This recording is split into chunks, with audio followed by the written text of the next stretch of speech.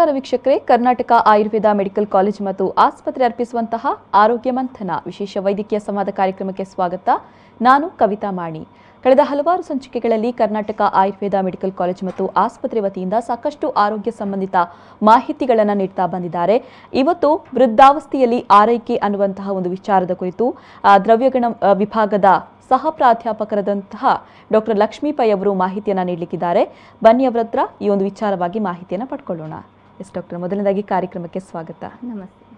S ಇತ್ತೀಚಿನ ದಿನಗಳಲ್ಲಿ ಅದು ಕೂಡ ವಯಸ್ಸಾದವರಲ್ಲಿ ಹೆಚ್ಚಾಗಿ ಆರೋಗ್ಯ ಸಮಸ್ಯೆಗಳು ಕಾಣೋದನ್ನು ನೋಡ್ಬೋದು.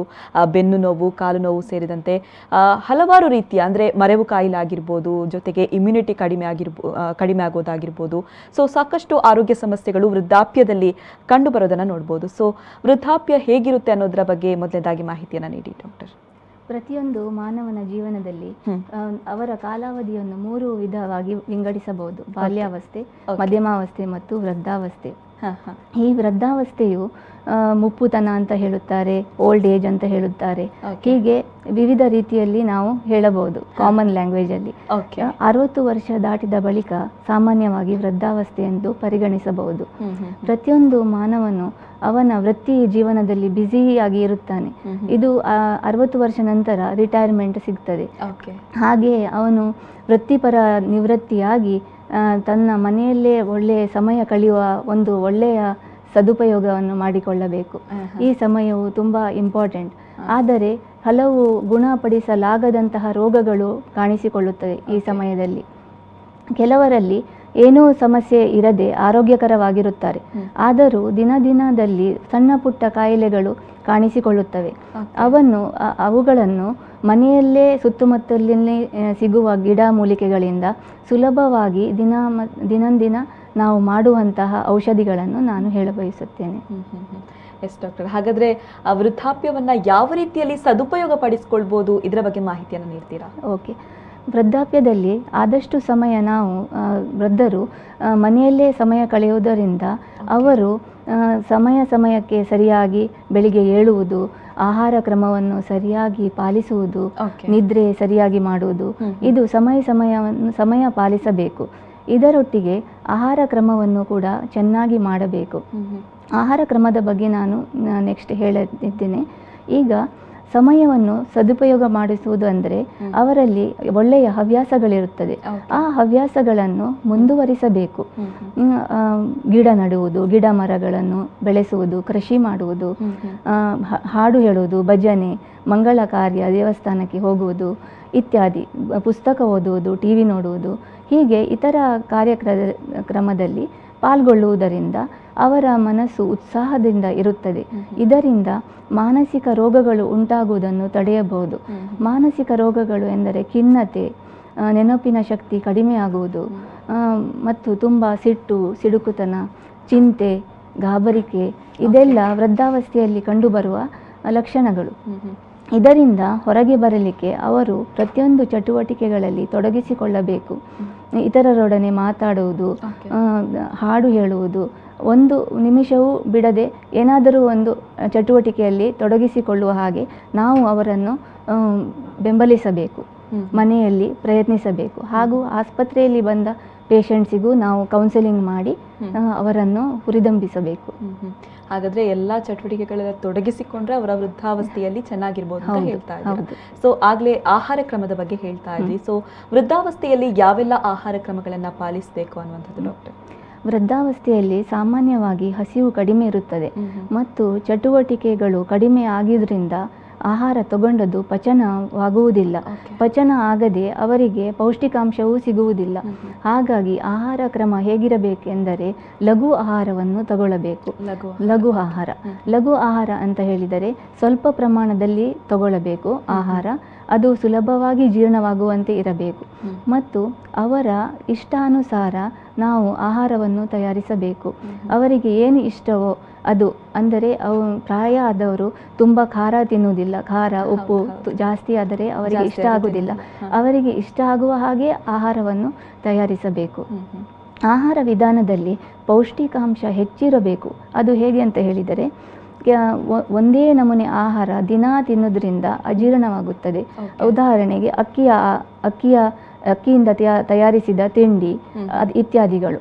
ಅದರ ಬದಲಿಗೆ ಬೆಳಗಿನ ಬ್ರೇಕ್ಫಾಸ್ಟಿಗೆ ತಿಂಡಿಗೆ ಒಂದು ದಿವಸ ಅಕ್ಕಿದು ಪದಾರ್ಥ ಯೂಸ್ ಮಾಡಿದರೆ ಇನ್ನೊಂದು ದಿವಸ ಗೋಧಿ ರಾಗಿ ಜೋಳ ಹೀಗೆ ವಿಧ ವಿಧದಲ್ಲಿ ವೆರೈಟಿ ಮಾಡಿದಾಗ ಪ್ರಾಯ ಆದವರಿಗೆ ಬಾಯಿ ರುಚಿ ಕೂಡ ಆಗ್ತದೆ ಮತ್ತು ಪಚನ ಸಹ ಆಗ್ತದೆ ಅವರಿಗೆ ಬೇಕಾದ ಹಾಗೆ ಮೆದುವಾಗಿ ಬೇಯಿಸಿ ಆ, ಸರಿಯಾಗಿ ಸ್ವಲ್ಪ ಪ್ರಮಾಣದಲ್ಲಿ ಉಪ್ಪು ಖಾರ ಹಾಗೆ ನೋಡಿಕೊಂಡು ಮೆದುವಾಗಿ ಕೊಡಬೇಕು. ಮತ್ತು ಆಹಾರದಲ್ಲಿ ನಾನು ಹೇಳಿದ ಹಾಗೆ ಅಕ್ಕಿ ಗೋಧಿ ಹಾಗೆಲ್ಲ ತಿಂಡಿ ರೂಪದಲ್ಲಿ ಕೊಡಬಹುದು. ಊಟದಲ್ಲಿ ಎಲೆ ಸೊಪ್ಪಿನ ಪದಾರ್ಥವನ್ನು ಸೂಪ್ ಮೂಲಕ ಮಾಡಿಕೊಡಬೇಕು. ಸೊಪ್ಪಿನಲ್ಲಿ ಬಸಳೆ ಹರಿವೆ ಮೆಂತೆ ಮೆಂತ್ಯ ಸೊಪ್ಪು ಪಾಲಕ್ ಪುದೀನ ಸಬ್ಬಸಿಗೆ ಇತ್ಯಾದಿ ಸೊಪ್ಪುಗಳನ್ನು ದಿನಕ್ಕೆ ಒಂದು ಎಂಬಂತೆ ಚೆನ್ನಾಗಿ ಬೇಯಿಸಿ ಅದಕ್ಕೆ ಕರಿಮೆಣಸು ಉಪ್ಪು ಮತ್ತು ಒಗ್ಗರಣೆಗೆ ಬೆಳ್ಳುಳ್ಳಿ ನೀರುಳ್ಳಿ ಹೀಗೆ ಹಾಕಿದ್ರಿಂದ ಕೊತ್ತಂಬರಿ ಸೊಪ್ಪು ಹಾಗೆ ಹಾಕಿದ್ರಿಂದ ರುಚಿ ಹೆಚ್ಚುತ್ತದೆ. ಮತ್ತು ಲಿಕ್ವಿಡ್ ಡಯಟ್ ನಾವು ಕೊಟ್ಟಿದ್ರಿಂದ ಲಘು ಆಹಾರ ಅಂತ ಹೇಳಿದೆ ನಾನು ಹಾಗೆ ಒಳ್ಳೆಯ ಪಚನವಾಗುತ್ತದೆ. ದಿನಕ್ಕೆ ಎರಡು ಬಾರಿ ಹೀಗೆ ಸೂಪ್ ಮಾಡಿ ಕೊಡೋದ್ರಿಂದ ಅವರ ಪೌಷ್ಟಿಕಾಂಶ ಹೆಚ್ಚುತ್ತದೆ. ಪದಾರ್ಥ ಮಾಡುವಾಗ ಕಾಳು ಮೊಳಕೆ ಬರೆಸಬೇಕು. ವಾರಕ್ಕೆ ಎರಡು ಮೂರು ಸರ್ತಿ ಕಾಳಿನ ಪದಾರ್ಥ. ಹಾಗೂ ಹಸಿ ತರಕಾರಿಯ ಪಲ್ಯ ಹೀಗೆ ಬೆಂಡೆ ತೊಂಡೆ ಅಲಸಂದೆ ಬೀನ್ಸ್ ಕ್ಯಾರೆಟ್ ಬೀಟ್ರೂಟ್ ಹಾಗೆ ಪ್ರತಿಯೊಂದು ತರಕಾರಿಯನ್ನು ಪ್ರತಿ ದಿವಸವಾಗಿ ಇಡೀ ವಾರದಲ್ಲಿ ಅವರಿಗೆ ಸಿಗುವ ಹಾಗೆ ನಾವು ಅವರ ಆಹಾರ ಪದ್ಧತಿಯನ್ನು ಮಾಡಿಕೊಡಬೇಕು. ಹಾಗೂ ನೀರು ಜಾಸ್ತಿ ಕುಡಿಯಬೇಕು. ನೀರು ಎರಡು ಮೂರು ಲೀಟರಷ್ಟು ನೀರು ಸರಿಯಾಗಿ ಕುಡಿಬೇಕು. ಬೆಳಿಗ್ಗೆಯಿಂದ ಹಿಡಿದು ರಾತ್ರಿಯವರೆಗೆ ಚೆನ್ನಾಗಿ ನೀರು ಕುಡಿಯುವ ಕುಡಿತಾರ ಇಲ್ಲವಾ ಅಂತ ನಾವು ಗಮನ ಕೊಡಬೇಕು. ಹರಿಸ್ಬೇಕು. ಹಾಗೂ ಹಣ್ಣು ಹಂಪಲು ಕೂಡ ಒಳ್ಳೆಯದು. ದಿನಕ್ಕೆ ಒಂದು ಬಗೆಯ ಹಣ್ಣು ಹಂಪಲು ತಿನ್ನಬೇಕು. ಅದರಲ್ಲೂ ಪರಿಸರದ ಸುತ್ತಮುತ್ತಲಿನ ಸಿಗುವ ಹಣ್ಣು ಹಂಪಲಿಗೆ ತುಂಬ ಪ್ರಾಧಾನ್ಯ ಕೊಡಬೇಕು. ನಾವು ಗಿಡ ಮರ ಮರಗಳು ಹೇಳ್ತೇನೆ. ಗಿಡ ಮರಗಳನ್ನು ನಾವು ಬೆಳೆಸಬೇಕು. ನಮ್ಮ ಮನೆಯಲ್ಲೇ ಸುತ್ತಮುತ್ತಲಿನಲ್ಲಿ ಗಿಡ ಬೆಳೆ ಬೆಳೆಸಬೇಕು. ತರಕಾರಿಗಳನ್ನು ಬೆಳೆಸಬೇಕು ಹಾಗೂ ಹಣ್ಣು ಹಂಪಲನ್ನು ಬೆಳೆಸಬೇಕು. ಅದರಲ್ಲಿ ಸುಲಭವಾಗಿ ನಮಗೆ ಸೀಸನ್ ವೈಸ್ ಸಿಗುವ ಹಾಗೆ ಮಾವು. ಮತ್ತೆ ಹಲಸಿನ ಹಣ್ಣು ಆ ಟೈಮಲ್ಲಿ ಮಾತ್ರ ಸಿಗುತ್ತದೆ. ಬೇರೆ ಟೈಮಲ್ಲಿ ಸಿಗುವ ಹಾಗೆ ಪೇರಳೆ.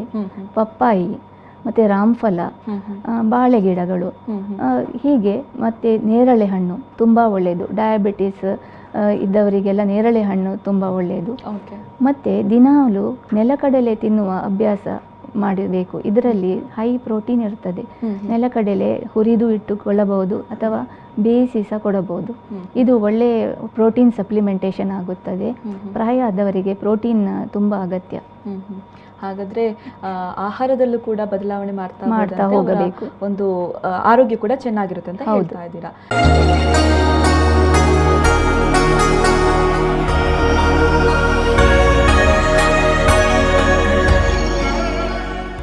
S doctor. ಆಗಲೇ ಹೇಳ್ತಾ ಇದ್ರಿ ವೃದ್ಧಾವಸ್ಥೆಯಲ್ಲಿ ಯಾವೆಲ್ಲ ಆಹಾರ ಕ್ರಮಗಳನ್ನು ಪಾಲಿಸಬೇಕು ಅನ್ನುವಂಥದ್ದು ಒಂದು ವಿಚಾರವನ್ನ ಹೇಳ್ತಾ ಇದ್ರಿ. ಇನ್ನು ವೃದ್ಧಾವಸ್ಥೆಯಲ್ಲಿ ಯಾವೆಲ್ಲ ರೋಗಗಳು ಎದುರಾಗುತ್ತೆ ಅನ್ನೋದು ಡಾಕ್ಟರ್? ವೃದ್ಧಾವಸ್ಥೆಯಲ್ಲಿ ಸಾಮಾನ್ಯವಾಗಿ ಗುಣಪಡಿಸಲಾಗದಂತಹ ರೋಗಗಳು. Example sugar diabetes hypertension cardiac problem ಇಂತಹ ರೋಗಗಳಿಗೆ ಸಂಬಂಧಿಸಿದ ತುರ್ತು ಚಿಕಿತ್ಸೆ ಬೇಕಾದ ವ್ಯವಸ್ಥೆಯನ್ನು ಮಾಡಬೇಕು. ಅದನ್ನು ನಿರ್ಲಕ್ಷಿಸಬಾರದು. ಅದು ದಿನ ದಿನ ದಿನ ಅವರು ತಗೊಳ್ಳುವಂತಹ ಮಾತ್ರೆ ಕರೆಕ್ಟಾಗಿ ಟೈಮ್ ಟೈಮಿಗೆ ತಗೊಳ್ಬೇಕು. ಓಕೆ. ಇದರೊಟ್ಟಿಗೆ ಸಣ್ಣ ಪುಟ್ಟ ಸಮಸ್ಯೆಗಳು ಬರಬಹುದು. ಅದು ಏನಂತ ಹೇಳಿದರೆ ನಿಶಕ್ತಿ ಈಗ ವೃದ್ಧಾವಸ್ಥೆ ಅಂತ ಹೇಳಿದರೆ ಧಾತು ಕ್ಷೀಣತೆ ಆಗುತ್ತದೆ. ಪ್ರತಿಯೊಂದು ಧಾತು ಅದರ ಕ್ಷೀಣಾವಸ್ಥೆಗೆ ತಲುಪುತ್ತದೆ. ರ- ರಕ್ತ ಮಾಂಸ ಮೇಧ ಹೀಗೆ ಶರೀರದ ಗಾತ್ರವು ಚಿಕ್ಕದಾಗುತ್ತದೆ ಶಕ್ತಿಯೂ ಕುಂದುತ್ತದೆ ಮತ್ತೆ ವೆಯ್ಟ್ ಲಾಸ್ ಆಗುತ್ತದೆ. ಹೀಗೆ ಹಲವಾರು ಸಮಸ್ಯೆಗಳು ನಿಶಕ್ತಿ ಹಸಿವು ಕಡಿಮೆ ಆಗುವುದು ಶರೀರದ ಬೇರೆ ಬೇರೆ ಗಾತ್ರಗಳಲ್ಲಿ ಬೇರೆ ಬೇರೆ ರೋಗಗಳು ಕಂಡುಬರುವುದು ಚರ್ಮ ರೋಗಗಳು ನೆನಪಿನ ಶಕ್ತಿ ಕುಂದಿ ಕುಂಠಿತವಾಗುವುದು ಹಾಗೂ ಬೇರೆ ಬೇರೆ ಬೆನ್ನು ನೋವು. ಕಾಲು ಬುಡದಲ್ಲಿ ಬೀಗುಕೊಳ್ಳುವುದು ಮಲಬದ್ಧತೆ ಆಗುವುದು ಮೂಲವ್ಯಾಧಿ ಹೀಗೆ ಹಲವಾರು ಸಮಸ್ಯೆಗಳು ದೈನಂದಿನ ದಿನಗಳಲ್ಲಿ ನೋಡಲು ಸಿಗುತ್ತದೆ. ಹಾಗಾದರೆ ವೃದ್ಧಾವಸ್ಥೆಯಲ್ಲಿ ಯಾವ ರೀತಿಯ ಚಿಕಿತ್ಸೆಯನ್ನು ಕೊಡಲಾಗುತ್ತೆ ಅಂತ ಡಾಕ್ಟರ್? ಹಾಂ. ಒಂದು ಚಿಕಿತ್ಸೆ ಅದೇ ತುರ್ತು ಚಿಕಿತ್ಸೆ ಬೇಕಾದಲ್ಲಿ ಎಲ್ಲ ನಾವು ನೋಡಿಕೊಳ್ಳಬೇಕಾಗ್ತದೆ. ಒಂದು ರೋಗಿಯನ್ನು ಸಂಪೂರ್ಣವಾಗಿ ನಾವು ಪರೀಕ್ಷೆ ಮಾಡಬೇಕು. ಪ್ರಶ್ನೆಯ ಮೂಲಕ ಮತ್ತು ಸ್ಪರ್ಶ ಪ್ರ ಪರೀಕ್ಷೆಯ ಮೂಲಕ ನಾವು ಪರೀಕ್ಷೆ ಮಾಡಬೇಕು. ಇದರಿಂದ ನಮಗೆ ಗೊತ್ತಾಗ್ತದೆ ಶಸ್ತ್ರಚಿಕಿತ್ಸೆ ಬೇಕಾ? ಇಲ್ಲ ಔಷಧ ಚಿಕಿತ್ಸೆ ಬೇಕಾ ಅಂತ ಹೇಳಿ. ಒಂದೊಂದು ರೋಗಕ್ಕೆ ಅನುಗುಣವಾಗಿ ಶಸ್ತ್ರ ಶಸ್ತ್ರಚಿಕಿತ್ಸೆ ಬೇಕಾಗಬಹುದು. ಅದನ್ನು ತುರ್ತು ಇಮಿಡಿಯೇಟ್ ಆಗಿ ನಾವು ಮಾಡಬೇಕಾಗ್ತದೆ.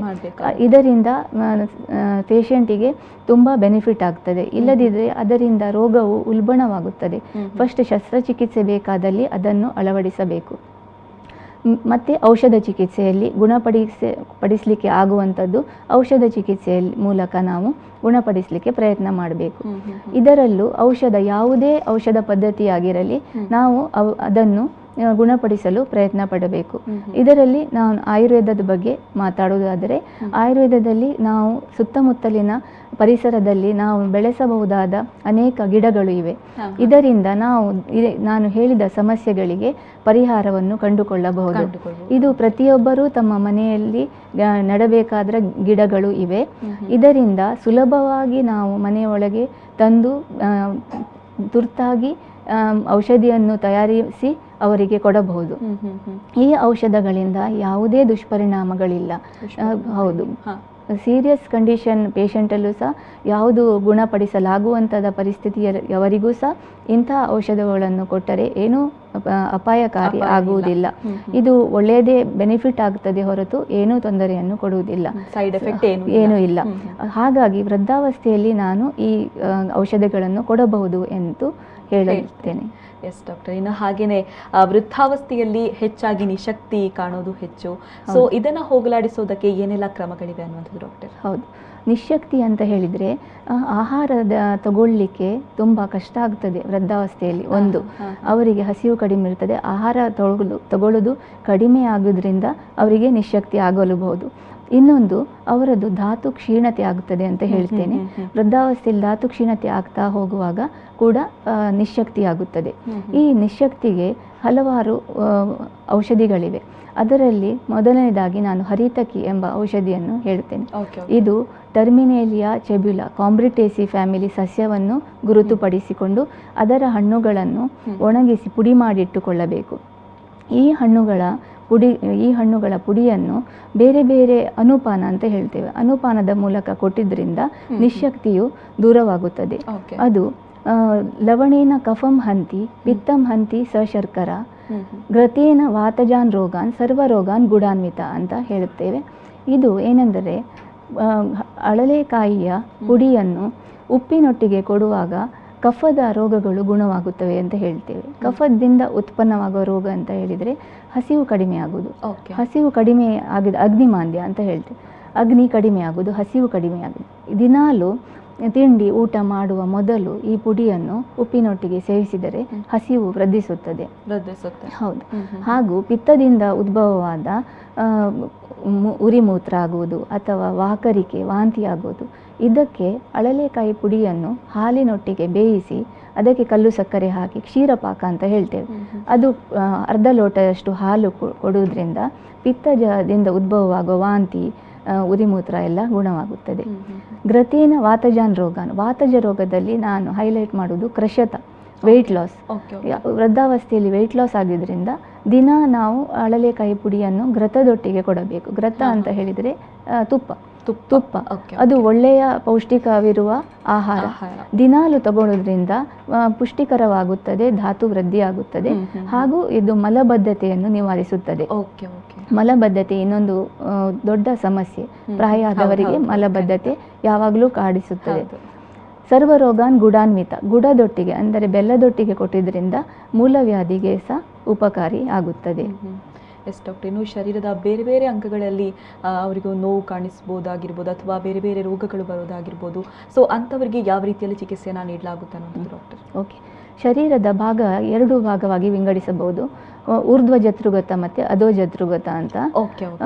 ಕಣ್ ಗಂಟಲಿನ ಮೇಲೆ ಭಾಗಕ್ಕೆ ಊರ್ಧ್ವ ಜತೃ ಅಂತ ಹೇಳುತ್ತೇವೆ. ಇದರಲ್ಲಿ ಕಣ್ಣು ಕಿವಿ ಮೂಗು ಗಂಟಲು ಇದರಲ್ಲಿ ಬರುವಂತಹ ಹುಣ್ಣಾಗುವಂತು ಶೀತ ಬಾಧೆ ತಲೆನೋವು ಹೀಗೆ ವಿವಿಧ ರೋಗಗಳಿಗೆ ಊರ್ಧ್ವ ಜತ್ರುಗತ ರೋಗ ಅಂತ ಹೇಳುತ್ತೇವೆ. ಕೆಳಗೆ ಅದೋ ಜತ್ರುಗತ ಅಂದರೆ ಕೆಳಗಿನ ಶರೀರದಲ್ಲಿ ಕಾಣಿಸಿಕೊಳ್ಳುವಂಥದ್ದು ಚರ್ಮ ರೋಗವಿರಲಿ ಹುಣ್ಣಾಗಿರುವುದು ನೋವು ಬರುವುದು ಗಂಟು ಗಂಟು ನೋವು ಹೀಗೆ ಅದೋ ಶರೀರ ಅಂತ ಹೇಳ್ತೇವೆ. ಊರ್ಧ್ವ ಊರ್ಧ ಜತೃಗತ ರೋಗಗ್ನೋ ಸಾಯಂ ಸ್ಯಾದ್ ಅವಲೇಹಿಕ. ಅದೋ ಜತೃಗತ ರೋಗಗ್ನೋ ಪೂರ್ವಂ ಭೋಜನಾನ್ಮತ ಅಂತ ಹೇಳಿದ್ದಾರೆ. ಈ ವಾಕ್ಯವನ್ನು ವಾಸಾವಲೇಹ ಸ ಹೇಳುವಾಗ ಸಂದರ್ಭದಲ್ಲಿ ಹೇಳಿದ್ದಾರೆ. ವಾಸ ಅಂತ ಹೇಳಿದರೆ ಆಡುಸೊಗೆ ಸೊಪ್ಪು. ಹಾ ಹಾ ಹಾ. ಎಡತೋಡ ವಾಸಿಕ ಅಂತ ಎಕೆಂದೇಸಿ ಫ್ಯಾಮಿಲಿದು. ಅದು ಐಡೆಂಟಿಫೈ ಮಾಡಿ ಅದರ ಎಲೆಯನ್ನು ಶುಚಿಗೊಳಿಸಿ ರಸ ತೆಗೆದು ವಿವಿಧ ಔಷಧಿಗಳನ್ನು ಹಾಕಿ ಬೆಲ್ಲ ಹಾಕಿ ಪಾಕ ಮಾಡಿ ಅವಲೇಹ ಅಂತ ಹೇಳ್ತೇವೆ. ಇದನ್ನು ಶೇಖರಿಸಿ ಇಡಬೇಕು. ಆರು ತಿಂಗಳವರೆಗೆ ಇಟ್ಟರೂ ಏನೂ ತೊಂದರೆ ಇಲ್ಲ. ಇದನ್ನು ಒಂದು ಚಮಚೆ ಬೆಳಿಗ್ಗೆ ಒಂದು ಚಮಚೆ ರಾತ್ರಿ ತಗೊಳ್ಳಬೇಕು. ಊರ್ಧ್ವ ಜತೃಗತ ರೋಗದಲ್ಲಿ ರಾತ್ರಿ ತಗೊಳ್ಳುವಂಥದ್ದು ಅದೋ ಜತೃಗತದಲ್ಲಿ ಬೆಳಿಗ್ಗೆ ತಗೊಳ್ಳುವಂಥದ್ದು ಅಂತ. ಹೇಳಿರುತ್ತಾರೆ. ಹೀಗೆ ಅನೇಕ ರೋಗಗಳು ಶರೀರದ ರೋಗಗಳಿಗೆ ಈ ಒಂದು ಎಲೆಯ ಅವಲೇಹವನ್ನು ಮಾಡಿಟ್ಟರೆ ತುಂಬ ಉಪಕಾರಿ ಆಗುತ್ತದೆ.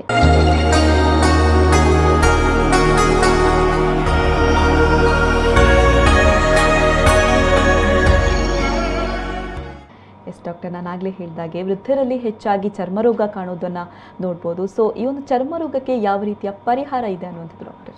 ಓಕೆ ಚರ್ಮರೋಗ ವೃದ್ಧಾವಸ್ಥೆಯಲ್ಲಿ ಸಾಮಾನ್ಯ ಯಾಕೆಂದರೆ ಒಣ ಚರ್ಮ ಇರುತ್ತದೆ. ಒಣಗಿ ಹೋಗಿ ಒಡೆಯುವುದು ಚರ್ಮ ಒಡೆಯುವುದು. ತುರಿಕೆ ಕಜ್ಜಿಯಾಗುವುದು ಹೀಗೆ ಸಮಸ್ಯೆ ಇರುತ್ತದೆ ಪ್ರಾಯ ಆದವರಲ್ಲಿ ಚಟುವಟಿಕೆ ಕಡಿಮೆ ಆಗಿದ್ರಿಂದ. ಕೂತ್ಕೊ ಜಾಸ್ತಿ ಹೊತ್ತು ಕೂತ್ಕೊಂಡಿರುವುದು ಜಾಸ್ತಿ ಹೊತ್ತು ಮಲಗಿ ಇರುವ ಪೇಷಂಟ್ಗಳಲ್ಲಿ ಬೆಡ್ ಸೋರ್ಸ್ ಅಂತ ಆಗುತ್ತದೆ ಹುಣ್ಣುಗಳಾಗುತ್ತದೆ ಯಾವ ಪ್ರ ಪ್ರದೇಶವು ಜಾಸ್ತಿ ಹೊತ್ತು ಅವರು ಕೂತ್ಕೊಳ್ತಾರೋ ಮಲಗಿರುತ್ತಾರೋ ಆ ಅಂಗಾಂಗಗಳಲ್ಲಿ ಹುಣ್ಣು ಕಾಣಿಸಿಕೊಳ್ಳುತ್ತದೆ. ಇದಕ್ಕೆ ನಿಂಬ ಎಂಬ ಕಹಿಬೇವು ಅಂತ ಹೇಳ್ತೀವಿ. ಹೌದು. ಎಸಾಜಿರೆಕ್ಟ ಇಂಡಿಕಾ ಅಂತ ಮೇಲಿಯಸಿ ಫ್ಯಾಮಿಲಿದು ಸಸ್ಯವನ್ನು ನಾವು ಐಡೆಂಟಿಫೈ ಮಾಡಿಕೊಂಡು ಅದರ ಪತ್ರದ ಕಲ್ಕವನ್ನು. ಹಚ್ಚಬೇಕು. ಹೌದು. ಲೇಪ ನಿಂಬದೆಲೆ ಕಲ್ಕೋ ವ್ರಣಶೋಧನ ರೋಪಣೆ. ಭಕ್ಷಣಾತ್ ಕುಷ್ಟ ಚರ್ದಿ ಕುಷ್ಟಾನಿ ಪಿತ್ತಶ್ಲೇಷ್ಮಣ ಕ್ರಿಮಿಂಜಯತ್ ಅಂತ. ಹೇಳಿರ್ತಾರೆ. ಇದು ಏನಂತ ಹೇಳಿದ್ರೆ ನಿಂಬದಲವನ್ನು ಗ್ರೈಂಡ್ ಮಾಡಿ ಕಲ್ಕ ಮಾಡಿ ಅದರ ಮೇಲೆ ಹಚ್ಚಬೇಕು ಹುಣ್ಣಾಗಿದ ಕಡೆ. ರೋಪಣ ಶೋಧನ ಮತ್ತು ರೋಪಣ ಅಂತ ಹೇಳಿರುತ್ತಾರೆ. ಈ ಹುಣ್ಣುಗಳಲ್ಲಿ ಕೀವು ತುಂಬಿರುತ್ತದೆ ಪಸ್ ಪಸ್ ಅಂತ ಹೇಳ್ತೇವೆ. ಕೀವು ತುಂಬಿರುತ್ತದೆ ಅದು ಶೋಧನ ಮಾಡುತ್ತದೆ ಕ್ಲೀನ್ ಆಗ್ತದೆ ಮತ್ತೆ ಆ ಜಾಗದಲ್ಲಿ ಹೊಸ ಸೆಲ್ಸ್ ಉತ್ಪನ್ನಿಯಾಗುತ್ತದೆ ರೀಜನರೇಷನ್ ಆಫ್ ಸೆಲ್ಸ್. ಆಗಿದ್ರಿಂದ ರೋಪಣವಾಗುತ್ತದೆ ಅಂದರೆ ಹೀಲ್ ಆಗುತ್ತದೆ ಗುಣಮುಖವಾಗುತ್ತದೆ ಇದು ಹಚ್ಚಿದ್ರಿಂದ. ಮತ್ತು ಭಕ್ಷಣಾತ್ ಚರ್ದಿ ಕುಷ್ಟಾನಿ ಅಂತ ಹೇಳಿದರೆ ಹೊಟ್ಟೆಗೂ ತಗೊಳ್ಳಬಹುದು. ಇದು ಅಪಾಯಕಾರಿ ಅಲ್ಲ.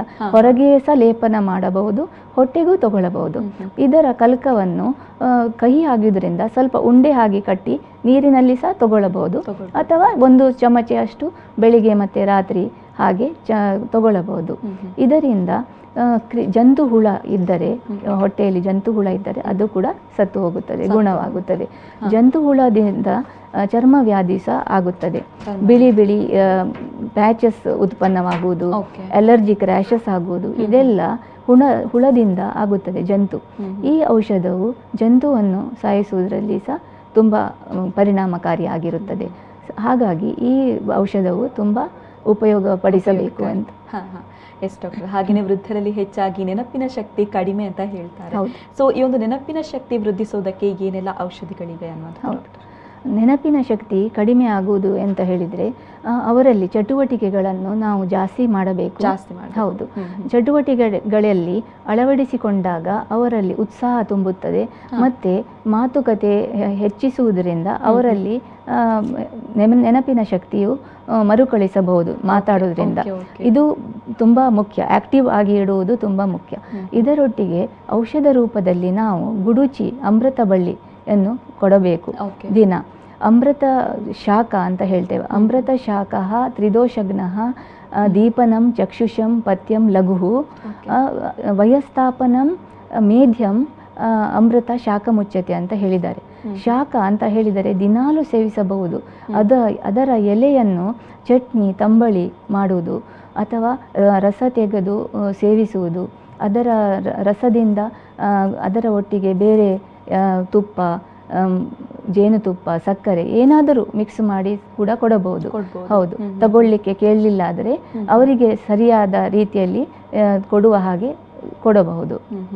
ಇದನ್ನು ಬೆಳಿಗ್ಗೆ ಮಧ್ಯಾಹ್ನ ರಾತ್ರಿ ಆಹಾರ ರೂಪದಲ್ಲೂ ಸೇವಿಸಬಹುದು ಅಥವಾ ಔಷಧಿ ರೂಪದಲ್ಲಿ ಸೇವಿಸಬಹುದು. ಇದನ್ನು ಪಥ್ಯಂ ಅಂತ ಹೇಳಿದ್ದಾರೆ. ಪಥ್ಯ. ಅಂತ ಹೇಳಿದರೆ ಯಾರೂ ಸೇವಿಸಬಹುದು. ಯಾರಿಗೂ ಇದು ತೊಂದರೆ ಕೊಡುವುದಿಲ್ಲ. ಇವರು ತಗೊಳ್ಳಬಹುದು ಅವರು ತಗೊಳ್ಳಬಾರದು ಅಂತ ಏನೂ ಇಲ್ಲ. ಅದು. ಪಥ್ಯ. ಅಪಥ್ಯ ಅಂತ ಹೇಳಿದರೆ ತಗೊಳ್ಳಬಾರದು ಅಂತ. ಪಥ್ಯ ಅಂತ ಹೇಳಿದರೆ ತಗೊಳ್ಳಬಹುದು ಅಂತ. ಇದು ಲಘು ಅಂತ ಹೇಳಿದ್ದಾರೆ. ಇದು ಈಸಿಲಿ ಡೈಜೆಸ್ಟ್ ಆಗುತ್ತದೆ. ಬೇಗ ಪಚನವಾಗುತ್ತದೆ. ಇದರೊಟ್ಟಿಗೆ ಮೇಧ್ಯ ಅಂತ ಹೇಳಿದ್ದಾರೆ ಶ್ಲೋಕದಲ್ಲಿ.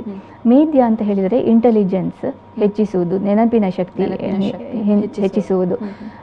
ನೆನಪಿನ ಶಕ್ತಿ ಅಂತ ಹೇಳಿದರೆ ಮೂರು ವಿಧವಾಗಿ ವಿಂಗಡಿಸಬಹುದು ನಾವು. ಗ್ರಹಣ ಶಕ್ತಿ ಧಾರಣ ಶಕ್ತಿ ಮತ್ತು ಸ್ಮರಣ ಶಕ್ತಿ. ಗ್ರಹಣ ಶಕ್ತಿ ನಾವು ನೋಡಿರುವುದು ಕೇ ಕಿ- ಕಿಲಿ ಕಿವಿಯಿಂದ ಕೇಳುವುದು ಎಲ್ಲವೂ ನಾವು ಗ್ರಹಣ ಮಾಡಬೇಕು ಅರ್ಥ ಮಾಡಿಕೊಳ್ಳಬೇಕು. ಅದು ಗ್ರಹಣ.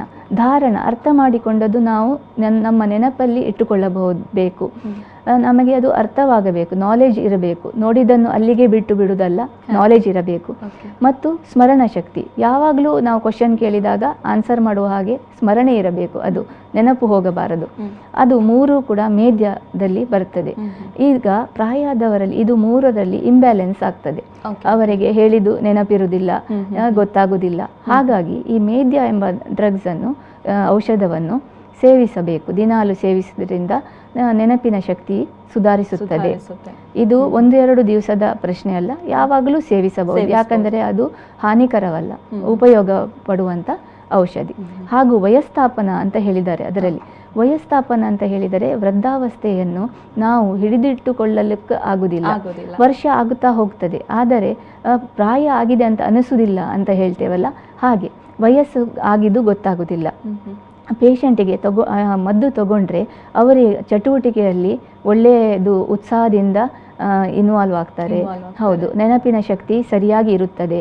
ಅವರಿಗೆ ಪ್ರಾಯ ಆಗಿದೆ ಹೌದು ಆದರೆ ಅವರದ್ರಲ್ಲಿ ಯಾವುದೂ ತೊಂದರೆಗಳು ಆಗುವುದಿಲ್ಲ ಎಂಬುದು ವಯಸ್ಥಾಪನ ಅಂತ ಹೇಳಿದ್ದಾರೆ. ಹಾಗಾಗಿ ಅಮೃತ ಬಳ್ಳಿಯ ರಸವನ್ನು ದಿನಾಲು ತಗೊಳ್ಳಬಹುದು. ಎಸ್ ಡಾಕ್ಟರ್ ಹಾಗೆಯೇ ವೃದ್ಧರಲ್ಲಿ ಹೆಚ್ಚಾಗಿ ಬೆನ್ನು ನೋವು ಕಾಣಿಸ್ಕೊಳ್ಳೋದು ಗಂಟು ನೋವು ಕಾಣಿಸೋದು ಸೊ ಇಂತಹ ಸಮಸ್ಯೆಗಳು ಹೆಚ್ಚಾಗಿರುತ್ತೆ. ಸೊ ಅದರ ಬಗ್ಗೆ ಹೇಳೋದಾದರೆ ಏನೆಲ್ಲ ಪರಿಹಾರ ಇದೆ ಅನ್ನುವಂಥದ್ದು ಡಾಕ್ಟರ್ ಓಕೆ ಬೆನ್ನು ನೋವು ಸಾಮಾನ್ಯವಾಗಿ ಕಾಣಿಸಿಕೊಳ್ಳುತ್ತದೆ. ಮೂಳೆಗಳ ಸವೆತದಿಂದ ಬೆನ್ನು ನೋವು ಕಾಲು ನೋವು ಎಲ್ಲ ಕಾಣಿಸಿಕೊಳ್ಳುತ್ತದೆ. ಕೆಲವು ಸರ್ತಿ ಬೆನ್ನು ನೋವು ಕಾಲು ಬುಡ ತನಕ ಹೋಗುತ್ತದೆ. ಇದಕ್ಕೆ ಗೃದ್ರಿಸಿ ಅಂತ ಹೇಳ್ತೇವೆ ಲಂಬ್ಯಾಗೋಸೈಟಿಕ ಅಂತ ಹೇಳ್ತೇವೆ. ಇದಕ್ಕೆ ಸರಿಯಾದ ಪರಿಹಾರ ಏರಂಡ ಏರಂಡ ಅಂದರೆ ಹರಳೆಣ್ಣೆ. ಹರಳೆಣ್ಣೆ ಗಿಡದ ಬೀಜವನ್ನು ತೆಗೆದು ತೈಲ ಎಣ್ಣೆ ಮಾಡಿ ಇಡಬಹುದು.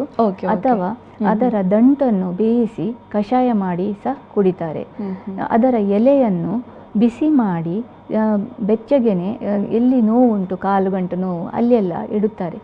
ಇದಕ್ಕೆ ಆಮವಾತ ಗಜೇಂದ್ರಸ್ಯ ಶರೀರ ವನಚಾರಿಣ ಏಕಮೇವ ನಿಹಂತ್ಯಯಂ ಏರಂಡ ಸ್ನೇಹ ಕೇಸರಿ ಅಂತ. ಹೇಳಿದ್ದುಂಟು.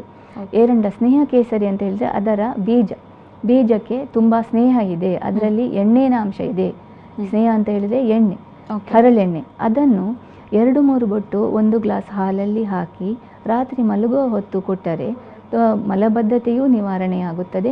ಗಂಟು ಗಂಟು ನೋವು ಕೂಡ ಮೆಲ್ಲ ಶಮನವಾಗುತ್ತದೆ. ಶಮನವಾಗುತ್ತೆ. ಹೌದು. ಪತ್ರ ಕಷಾಯವೂ ಕೊಡಬಹುದು. ದಿನಕ್ಕೆ ಎರಡು ಮೂರು ಸರ್ತಿ ಒಂದು ಇಪ್ಪತ್ತರಿಂದ ನಲವತ್ತು ಎಂ ಎಲ್ ಕಷಾಯಷ್ಟು. ಕುಡಿಲಿಕ್ಕೆ ಉಪ್ಪು ಹಾಕಿ ಸ್ವಲ್ಪ ಕೊಡಬಹುದು. ಎಸ್ ಡಾಕ್ಟರ್ ಇನ್ನು ಶರೀರದಲ್ಲಿ ನೀರು ತುಂಬಿಕೊಳ್ಳುತ್ತೆ. ಸೊ ಆ ಒಂದು ಟೈಮಲ್ಲಿ ಊದಿಕೊಳ್ಳೋದು ಅಂತ ಹೇಳ್ತಾರೆ. ಸೊ ಚರ್ಮ ಊದಿಕೊಳ್ಳೋದು ಅಂತ. ಸೊ ಆ ಸಮಸ್ಯೆಗೆ ಏನು ಪರಿಹಾರ? ಹಾಗೆ ಜೊತೆಗೆ ಮೂಲವ್ಯಾಧಿ ಸಮಸ್ಯೆಗೆ ಏನು ಪರಿಹಾರ ಇದೆ ಅನ್ನೋದನ್ನ. ತಿಳಿಸ್ಕೊಡಿ ಡಾಕ್ಟರ್. ಶರೀರದಲ್ಲಿ ಬೇರೆ ಬೇರೆ ಭಾಗದಲ್ಲಿ ನೀರು ತುಂಬಿಕೊಳ್ಳುವುದು ಸಾಮಾನ್ಯ. ಯಾಕಂದರೆ ಅವರಲ್ಲಿ ಚಟುವಟಿಕೆ ಕಮ್ಮಿ ಆಗಿರೋದ್ರಿಂದ ಅವರು ಕೂತ್ಕೊಂಡ ಕಡೆ ಕೂತ್ಕೊಳ್ಳುವುದು ಮಲಗಿರುವುದು ಹಾಗಿದ್ರಿಂದ ಪ್ರೆಷರ್ ಪಾಯಿಂಟ್ಸ್ ಕ್ರಿಯೇಟ್ ಆಗಿ ನೀರು ತುಂಬಿಕೊಳ್ತದೆ ಮತ್ತು ಅವರ ಪಚನಕ್ರಿಯೆ ಸರಿಯಾ ಇಲ್ಲದೇ ಇರುವುದರಿಂದ. ಮೂತ್ರ ವಿಸರ್ಜನೆ ಸರಿಯಾಗಿರುವುದಿಲ್ಲ ಮಲಬದ್ಧತೆ ಇರುತ್ತದೆ. ಹಾಗೆ ಶರೀರದಲ್ಲಿ ಊದಿಕೊಳ್ಳುತ್ತದೆ ಕೈ ಕಾಲು ಊದಿಕೊಳ್ಳುವುದು. ಇದಕ್ಕೆ ಆರ್ದ್ರಕ ಸ್ವರಸ ತುಂಬ ಉಪಯೋಗ. ಆರ್ದ್ರಕ ಸ್ವರಸ ಗುಡದೊಟ್ಟಿಗೆ ಕೊಟ್ಟರೆ ಸರ್ವಶೋತಹರ ಅಂತ ಹೇಳಿದ್ದಾರೆ. ಆರ್ದ್ರಕ ಅಂತ ಹೇಳಿದರೆ ಜಿಂಜಿಬರ್ ಆಫಿಷಿನಾಲಿಸ್ ಶುಂಠಿ. ಜಿಂಜಿಬರೆಸಿ ಫ್ಯಾಮಿಲಿದು ಇದರದ್ದು ಶುಂಠಿಯನ್ನು ಹಸಿ ಇರುವಾಗ ಆರ್ದ್ರಕ ಅಂತ ಹೇಳುತ್ತೇವೆ. ಒಣಗಿದ ಶುಂಠಿ ಶುಂಠಿ ಅಂತ ಹೇಳುತ್ತೇವೆ. ಹೌದು. ಆರ್ದ್ರಕ ಸ್ವರಸ ತೆಗೆದು ಗುಡದೊಟ್ಟಿಗೂ ಕೊಡಬಹುದು. ಅಥವಾ ಹಸಿ ಶುಂಠಿ ಚೂರುಗಳನ್ನು ಮಾಡಿ ಕೂಡ ಗುಡದೊಟ್ಟಿಗೆ ಕೊಡಬಹುದು. ಇದು ಶ್ರೋತಹರ ಸಹ ಹೌದು. ಮತ್ತು ಮೂಲವ್ಯಾಧಿಗೆ ಕೂಡ ಉಪಯೋಗವಾಗುತ್ತದೆ. ಹೌದು. ಎಸ್ ಡಾಕ್ಟರ್ ಇಷ್ಟು ಹೊತ್ತು ನಮ್ಮ ಜೊತೆಗಿದ್ದು ವೃದ್ಧಾವಸ್ಥೆಯಲ್ಲಿ ಯಾವ ರೀತಿ ಇರುತ್ತೆ ಯಾವ ರೀತಿಯಲ್ಲಿ ಆರೈಕೆ ಮಾಡಬೇಕು ಎಲ್ಲ ವಿಚಾರಗಳ ಬಗ್ಗೆ ಮಾಹಿತಿಯನ್ನು ನೀಡಿದ್ರಿ. Thank you doctor. Thank you yes ನೋಡಿದ್ರಲ್ವಾ, ವೃದ್ಧಾಪ್ಯದ ಆರೈಕೆ ಹೇಗಿರುತ್ತೆ? ಜೊತೆಗೆ ವೃದ್ಧಾಪ್ಯದಲ್ಲಿ ಯಾವೆಲ್ಲ ಕಾಯಿಲೆಗಳು ಎದುರಾಗುತ್ತೆ? ಸೊ ಅದಕ್ಕೆ ಏನೆಲ್ಲ ಪರಿಹಾರ ಇದೆ? ಎಲ್ಲದನ್ನ ಕೂಡ ಡಾಕ್ಟರ್ ತಿಳಿಸಿಕೊಟ್ರು. ಇದಾಗಿತ್ತು ಈ ಹೊತ್ತಿನ ವಿಶೇಷ ಕಾರ್ಯಕ್ರಮ. ನಿರಂತರ ಸುದ್ದಿ ಮಾಹಿತಿ ಮನೋರಂಜನೆಗಾಗಿ ನೋಡ್ತಾ ಇರಿ ವಿ ಫೋರ್ ನ್ಯೂಸ್ ಇದು ಮುನ್ನುಡಿ ಮುನ್ನಡೆಗಾಗಿ.